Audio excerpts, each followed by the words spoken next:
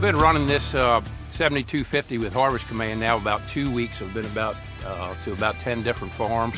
I was very skeptical because I'm an old guy and that's how I fly. I fly skeptical and you can prove it to me.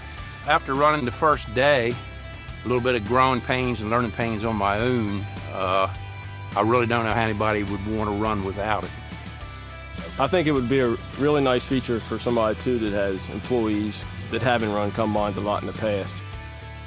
But it's got the whole inside of the combine with all the numbers and the, and you can watch it change all day long.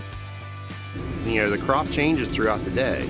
It can uh, help adjust itself to keep the grain quality the way you would like it and to keep the machine's capacity up. Very easy to set, gives a super clean sample, and when you set that thing and, and uh, throw that hydro stick forward and it takes over, it just does everything it needs to do.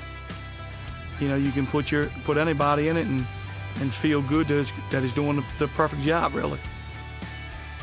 Had a couple little growing pains with the brand new machine as you'd expect, but nothing, every, everything reliability wise has been 110%. Uh, everything works. We get into the next day, it works again. The next operator gets in, the thing still works. This thing stays here with you all day long and it's steadily doing the job.